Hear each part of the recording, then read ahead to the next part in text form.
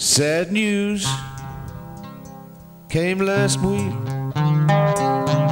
Sad news that made me weep. Sad news that told me of my eldest brother. It said Bob had passed away, joining Babs on that day in a land free of worry, stress, and bother.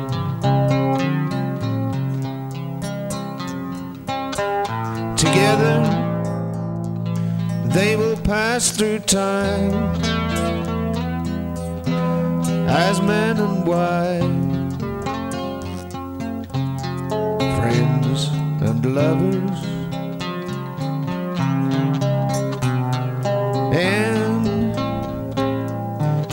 As their time goes by, oh, they will fly always together.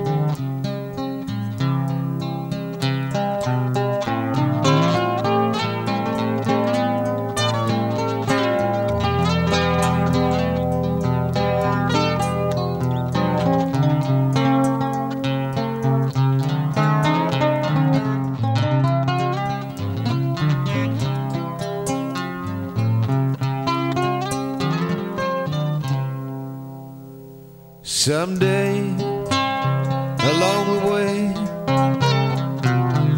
oh, we will meet again. That's for sure, my friend and my brother. Somewhere down our street, all of us will turn to speak of a man and a friend and my brother. And so,